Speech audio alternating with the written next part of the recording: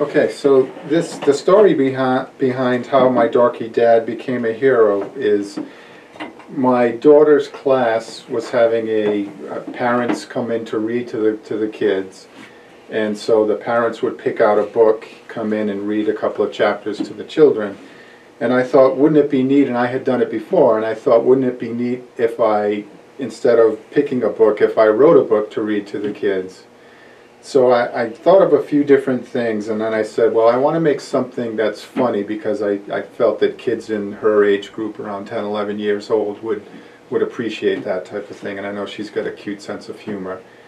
So I started to think of, uh, of a character that I could base the book around. So first, I wanted my daughter in it, so she's, she's part of it as well. And the dorky dad is, is lightly based around yours truly.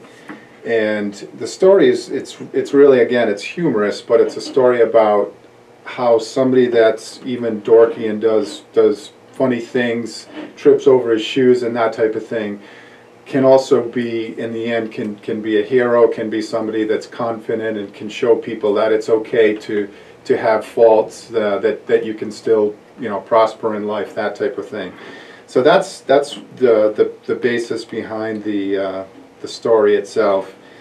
The, um, I looked to get somebody to do, so I wanted to have some pictures in, so, so what I did is for each, the beginning of each chapter, I had a black and white drawing done.